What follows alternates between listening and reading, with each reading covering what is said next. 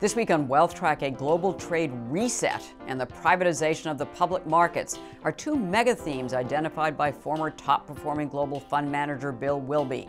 How they are shaping his personal portfolio are next on Consuelo Mack Wealth Track.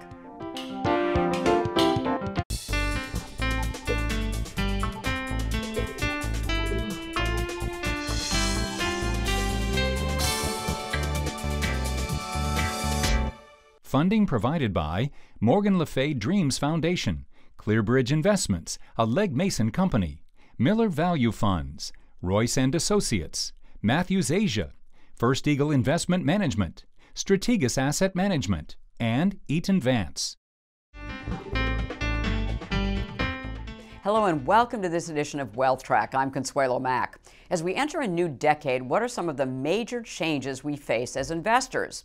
For answers, we are asking a global investor known not only for his past performance, but also for identifying big themes which can have outsized influence on the financial markets.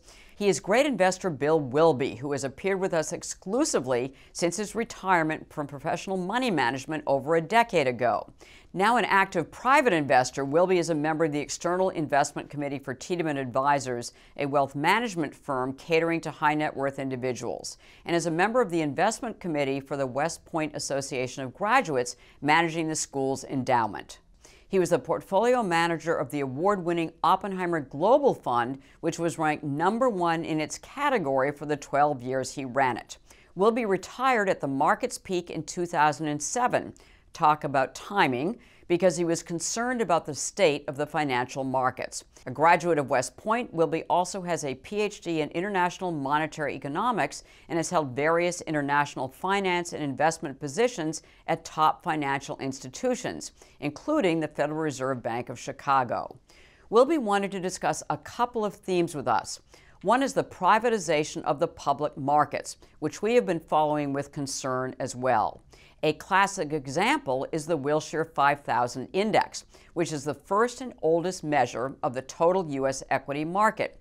Created in 1974 with 5,000 stocks in it, it reached a high of more than 7,500 publicly traded companies in 1998 and has now fallen to about 3,500 issues. There are now many more companies being backed by private equity firms than there are publicly traded stocks. The flow of money into firms investing in privately held companies is a global phenomenon. According to McKinsey, the net asset value of private equity globally has grown more than sevenfold since 2002, outpacing the publicly traded stocks around the world. While the money is pouring into private equity, it has been leaving the stock market. Since 2008, funds have been flowing out of U.S. stock mutual funds and ETFs and pouring into bonds. Wilby will explain why he thinks the two are related. The other theme Wilby is watching, which he believes has investment significance, is what he calls the global trade reset. I asked him to explain. It, it's, an, it's an old theme. I mean, it's, it's started probably six or eight years ago, but it's picking up momentum mm-hmm. under Trump.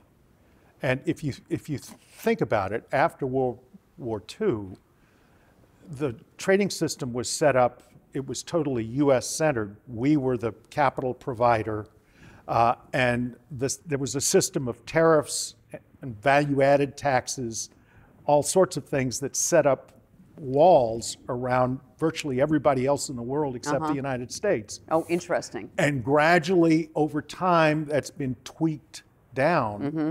through what used to be called the GATT, the General Agreement on Tariffs and Trade, and then the WTO. And we ate at those trade barriers mm-hmm. around the, mar- the margin. Right. But the basic structure is still there. The value added tax structure in all the countries of the world is a subtle way of it's it's a replacement for tariffs. Mm-hmm. And mm-hmm. it basically protects because they so refund are- they mm-hmm. refund the export subsidies at the board. It's a subtle export subsidy for uh, exporters in, in countries outside the U.S., and it's a barrier to imports because the importer has to pay the value added tax. Oh, so it's like a 20, percent tariff.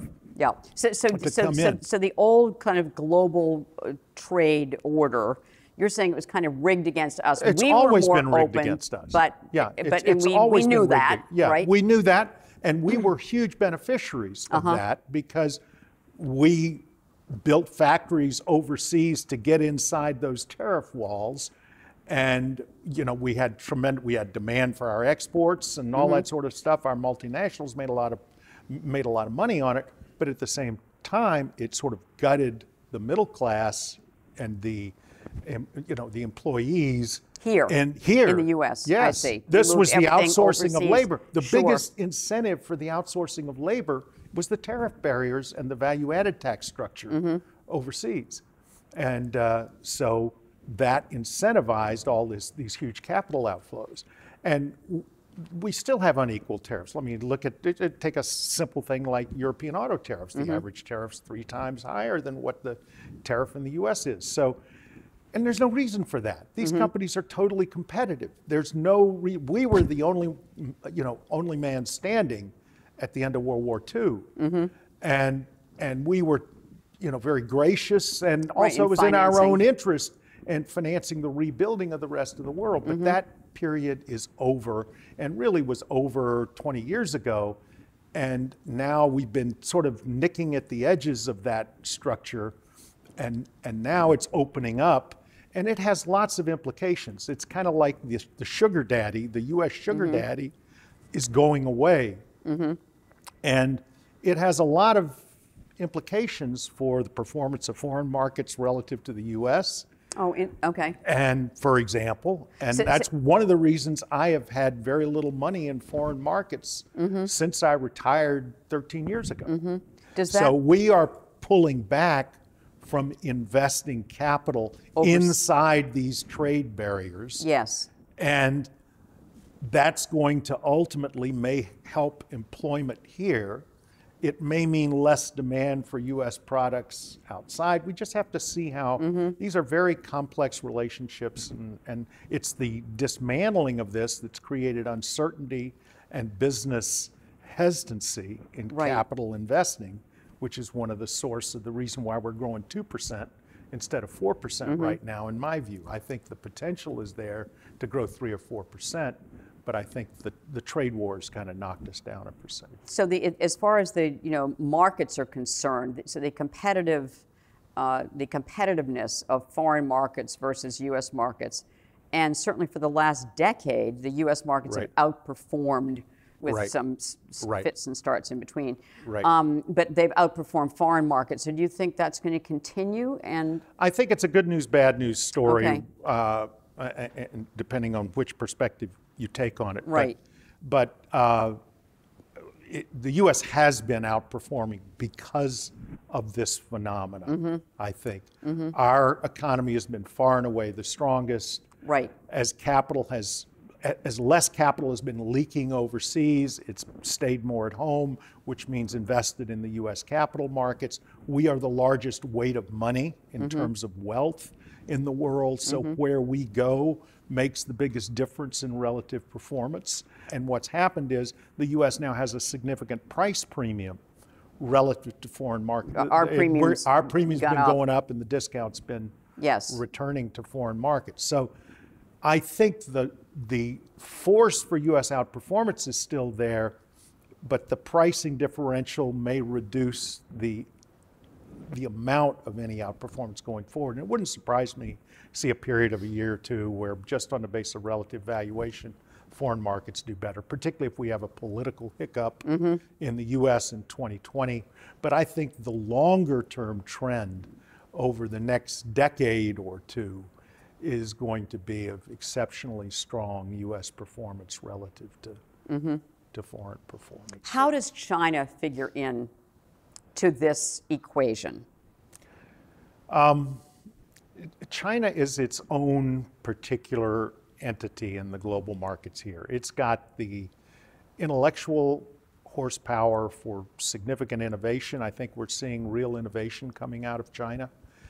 And they are a real competitor to the US, both in terms of capability as well as they have a totally different system and, and model for doing business. I personally think that the open, liberal, democratic, free market system will prevail, but it may be tested by the Chinese.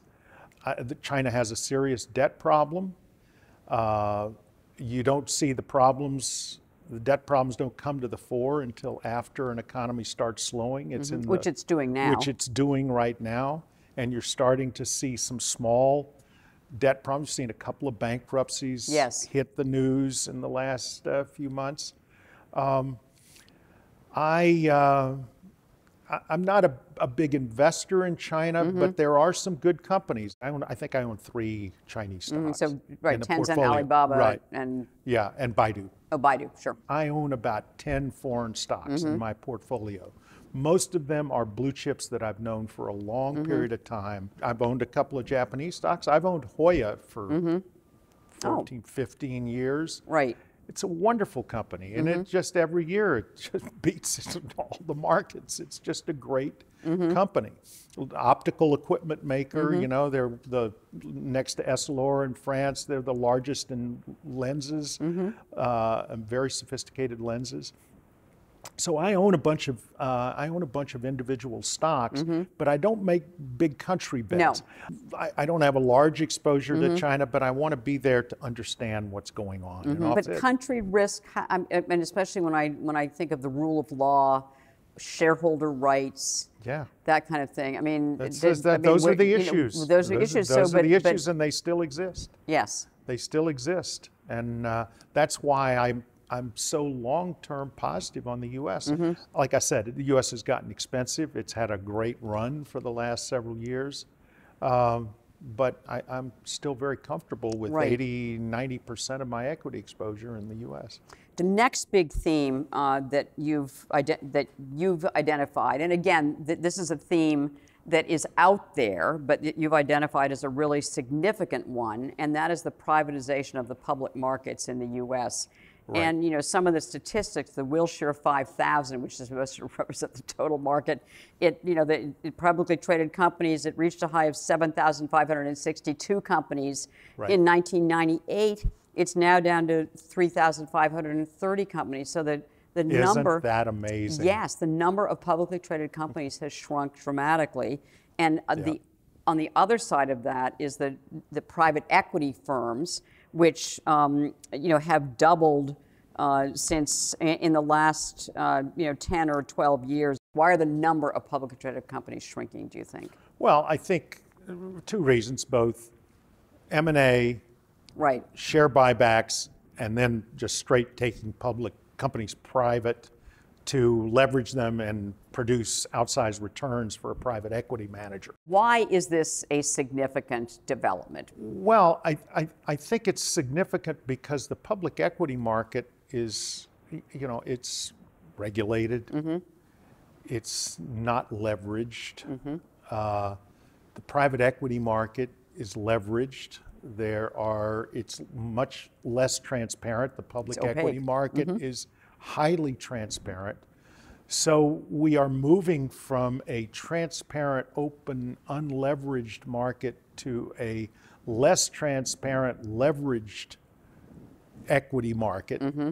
Now, the other side of that is is that the private equity players may be able to force to to, to focus more on longer term issues, and mm-hmm. that's back to one of the reasons why this has occurred is the obsession of the public equity market with short-term quarterly earnings and Right. that sort of thing is one of the things that's produced the incentive for companies to go private to get away from that, supposedly to focus on longer term issues. But Mm-hmm. if you're leveraged, I'm not sure how long term that makes you, you know? Yes. So there's a little bit of hypocrisy, I think, in those in some of those arguments. It's a significant development because it's Yes. a change in the nature of the equity market. Right. And I think it also, because of the leverage factor, if you look for where the next accident comes from, you always want to look where is the leverage, where is the borrowing, where is the excessive borrowing taking place. And in my view, right now, it's in private equity. Mm-hmm. I don't think we're there at crisis levels in private equity, but who knows? You know, we, we certainly may be getting there. And uh, if, if we had some unusual development that produced a big collapse in equity values, uh, and res- or, and which or a big earnings decline, Mm-hmm. which meant that these leveraged private equity players couldn't meet their interest and Obligations. cash demands Right. then you've got an issue. Mm-hmm. Um, and so uh, I think it's an I think it's an area that that sets up for trouble in the future. I'm not saying it's here now. Uh, and and the other side of this is maybe, given the internet and the information flows, maybe private equity is a wave of the future. I don't know what Mm-hmm. the answer to that is. Maybe we don't need the big regulatory framework. The internet itself produces its own, you know, constraints uh, Self-regulatory. I don't self-regulatory constraints. I'm Doubt it. I'm I doubt it. I'm Yes. not convinced of that either. But I, I I just think this is a significant development, and it's one that really bears watching. And all of us that are investing in the public or private markets need to pay attention to what's going on. And, and that's one of the reasons why you're sticking with the public markets, right? Because of, Exactly. because of, you know what you're investing in, they're Right. liquid, right. they're not leveraged, they haven't, or if, Right. if they are, you know what kind of Yeah. debt levels they, these companies have taken on because they have to declare it, they're Right. regulated. I'm a retired private investor, and so I like transparency with the investments I buy, and uh, I think it makes me favor public investments over private investments. If I were an insider or an institution or a member of a private equity firm, I might think otherwise. But uh, but an individual, I think, should probably confine themselves to the public equity market. I have bought a couple of individual private stocks Mm-hmm. on my own that I'm able to have confidence. I've met the management and that sort of thing. And uh, Right. So uh, I'm, I'm happy doing that, but those are the exceptions rather than the rules. So a, for, for the, the general public investor, I think uh, sticking with liquid, transparent public equity, also because that's where the biggest fear factor is. Mm-hmm. There's more, there's been more euphoria In the private equity private space, equity. right. All the institutions want to go there Yes. you know, uh, the returns look historically very attractive. Everybody's terrified of the public equity market, but that's why the public el- equity market right now is so healthy because there's such a healthy dose Mm-hmm. Skepticism of and- skepticism. Here we are in you know one of the greatest bull markets in history for the last 10 years, even though it's had fits and starts along the way, significant ones. Right. The outflows from you know equities from ep- equity funds Right. um, have been significant, whereas the inflows into bond market funds and into money market funds have been enormous. And can you explain that? Why I think that's happening? I think there's a I think there's a big misreading Uh-huh. of that data. Mm-hmm. Um, holdings of an asset can go down either because the supply decreases or the demand decreases. Right. And uh, and actually, it has to be because the supply decreases because demand all demand does is affect the pricing Oh. of the asset. Uh, so if you look at what's happening, I think this is the private equity phenomena viewed from the other side. Mm-hmm. So what you see happening is corporations either buying back their own stock, Right, okay, which taking takes supply, them away right, off the from the mutual fund or the public market. Or, or they're being bought by their competitors or other companies through Mm-hmm. So mergers and and acquisition or through private equity managers. Mm-hmm. And when the private equity managers buy them, they're leveraging the transaction. So they're issuing bonds, and the bonds have to be taken up somewhere. So they are uh, held by the shadow banking system or whoever, and then end Mm-hmm. up getting bought by bond funds because they're always on offer out there. oh, interesting. And, and so what we see is, and also there is a demographic factor here because of the, ba- retiring of the yes, baby, baby boom. We're When you retire, you're going to set your retirement portfolio at some lower exposure of stocks versus Yes, bonds. and also possibly sell, you know, start selling it off to support yourself. Exactly. So you want a bond exposure. You want to, depending on you know how much risk you're willing to accept, you're going to take. You- You're going to have some bonds in your portfolio. Even I own some bonds. I mean, uh, not many, but I own a few. And uh, so Um, I think both phenomena are happening at the same time, but I think one of the biggest factors is this money flowing into private equity, which is leveraging the public equity market. So you're seeing an increase in the supply of, Of bonds. bonds, and the privatization of the public market is taking away the supply of stock. I'm going to go back to April of 2009 when you were Okay. on Wealth Track, just Okay. right after the market bottom, but who knew? But you told us then that you know the worst is behind us, and you said um, that you were buying U.S. over international, you were buying growth over value, you were buying blue chips versus small uh, company stocks, and dividend payers. Well, wow. In April of 2009, those were the right calls to Right, make. right. So what are you saying now? In, Strategy is kind of a healthy degree of nervousness right now because we ha- we are you know this has been a since 2009 the market's been going up. Mm-hmm. Uh, it has been punctuated by three No, we've had quasi three- bear ma- markets where have, the right. market was down 20 percent. Right, people three forget big that. corrections, yes. Three big corrections that were almost mini bear markets, Mm-hmm. and. Uh, so I, I still think the market's climbing a wall of worry. When I go through my list of uh, my kind of checklist of, of, of market factors, valuation, liquidity, earnings momentum, all that sort of stuff, all looks kind of neutral, which is where the market stays most of the time, which means it's climbing its typical wall of worry. Right. And that's where we are. I prefer liquid stocks to illiquid stocks for the reasons I talked about, Right. because I, I, I think there are excesses developing in the private equity space. Uh, I, uh, so I prefer the liquid public market because of the skepticism, the, the, the you know, attractive valuation relative to bonds and other assets. Um, and uh, I, I like munis over corporates in here because I'm concerned about corporate leverage. I think corporations, because the private equity phenomena also have levered their balance sheets more. And uh, so I'm, I, I'm, I'm not a big fan of corporate bonds in here. Um, I still like the digital economy.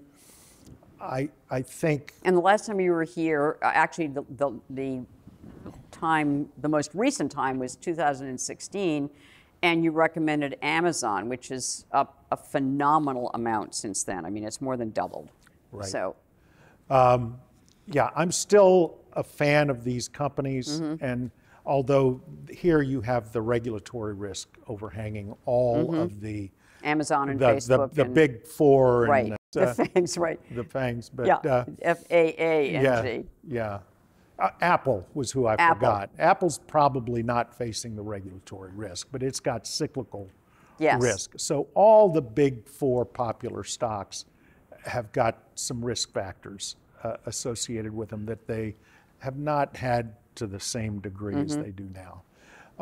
So if, if there's one investment that we could get from you today for a long-term diversified portfolio, what would it be?